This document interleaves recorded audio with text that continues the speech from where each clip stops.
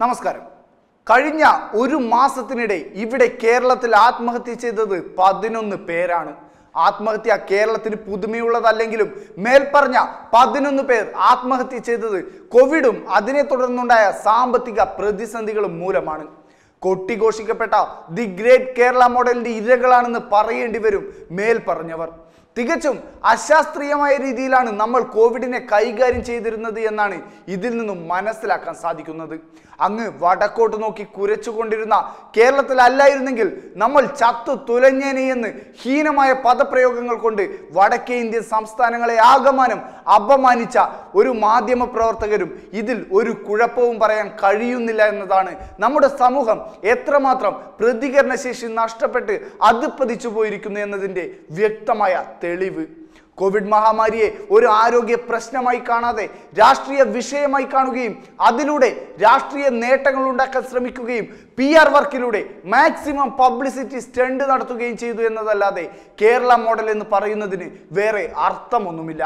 കിറ്റും സൗജന്യങ്ങളും ഒന്നിനും പരിഹാരമല്ല എന്ന കാര്യം അവർക്ക് അറിയാഞ്ഞിട്ടല്ല.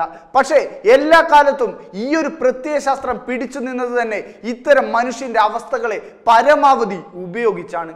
കേരളത്തിൽ മനുഷ്യന്റെ ദാരിദ്ര്യത്തിലും അടിച്ചമർത്തലിലും വളർന്നു വന്ന ആ പ്രസ്ഥാനം മലയാളികൾ സാമ്പത്തികമായി മെച്ചപ്പെട്ടപ്പോൾ നില പരുങ്ങല്ലായ ഒന്നായിരുന്നു.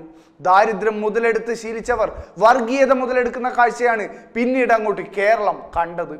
അങ്ങനെ ഒരു സാഹചര്യത്തിലാണ് കോവിഡ് മഹാമാരിയുടെ കടന്നുവരവ്.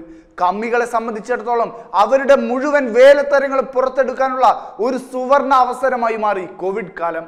കോവിഡിനെ തുടർന്ന് ദുരിതാശ്വാസ ക്യാമ്പുകൾ ലോകം മുഴുവൻ പ്രവർത്തിക്കുന്നുണ്ട്. പക്ഷേ ഇവിടെയോ ഒരു സംസ്ഥാനത്തെ തന്നെ ദുരിതാശ്വാസ ക്യാമ്പാക്കി മാറ്റി കഴിഞ്ഞു ഇവർ. ഈ അവസ്ഥ തുടരുകയാണെങ്കിൽ ഭക്ഷണ പൊതികൾക്ക് വേണ്ടി എല്ലാത്തരം മലയാളികളും റോഡിൽ ക്യൂ നിൽക്കുന്ന ഒരു സാഹചര്യം വിദൂരമല്ല.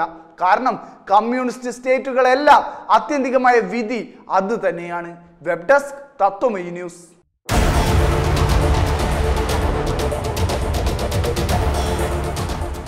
Mister Rajesh Pillai നേതൃത്വം കൊടുക്കുന്ന തത്വമയി ചാനൽ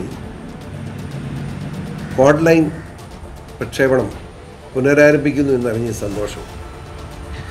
ഇത് ആരംഭം കുറിച്ച സമയത്തും ഞാൻ തന്നെ അഭിപ്രായം രേഖപ്പെടുത്തിയിട്ടുള്ളതാണ്. ഏതായാലും പുനരാരംഭിക്കുന്ന ഓൺലൈൻ സംവിധാനത്തിന് എല്ലാവിധ ആശംസകൾ അർപ്പിക്കുകയാണ്.